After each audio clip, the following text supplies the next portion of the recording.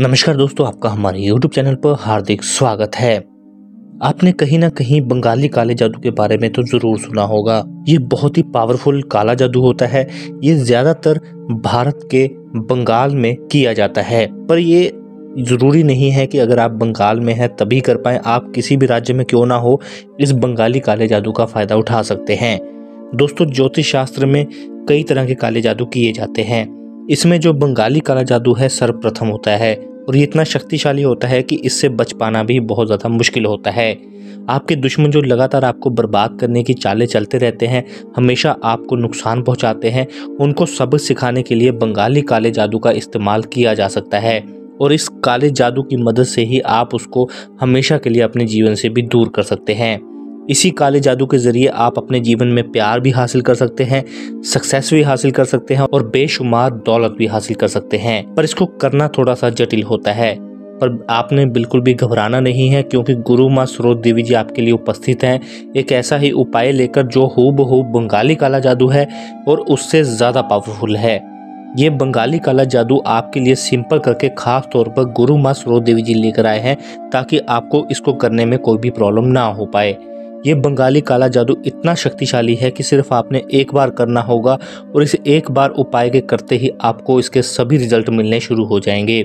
इस उपाय को करने का एक और फ़ायदा ये है कि एक ही उपाय करके आप दो तीन व्यक्तियों को पूर्ण तौर पर वश में कर सकते हैं। तो ये जानते हैं इस काले जादू की करने की पूर्ण विधि के बारे में। इसके लिए आपने एक मुर्गे की हड्डी का प्रयोग करना है। आपने एक मुर्गे की हड्डी लेनी है, उसको आपने एक कागज़ के अंदर लपेटना है। पर लपेटने से पहले उस कागज़ के ऊपर उस व्यक्ति का नाम लिखना है, जिसको आप इस काले जादू के चक्कर में फंसाना चाहते हैं, वशीकरण उसका कर देना चाहते हैं और उसको अपने पूर्ण तौर पर वश में रखना चाहते हैं। अगर वो आपका दुश्मन है तो उसका नाम लिखकर उसके ऊपर क्रॉस का निशान बना दे।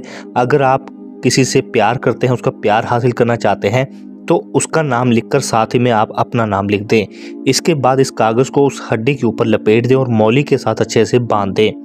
इसके बाद आपने थोड़ा सा सिंदूर लेना है। उस सिंदूर को आपने उस कागज़ के ऊपर लगाना है और उसको दाहिनी मुट्ठी में पकड़कर एक मंत्र का जाप करना है। इस मंत्र का जाप आपको 111 बार करना होगा। 111 बार मंत्र जाप के तुरंत बाद इस कागज़ को और उस मुर्गे की हड्डी को आपने शमशान घाट के द्वार के पास फेंक देना है। पीछे मुड़कर आपने बिल्कुल भी नहीं देखना है और जिस रास्ते आप आए हैं, उस रास्ते बिल्कुल भी ना आए, दूसरे रास्ते से घूम कर आए।